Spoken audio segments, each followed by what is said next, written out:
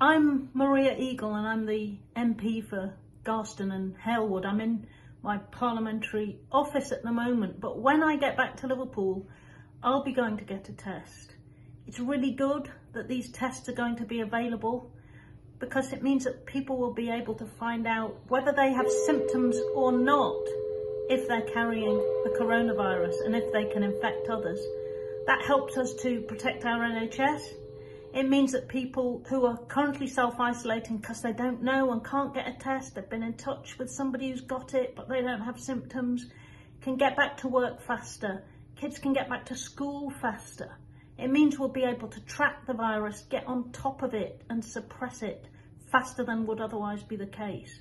So it's a good thing that these tests are available and I'd urge everybody to go and get a test. Let's get tested Liverpool.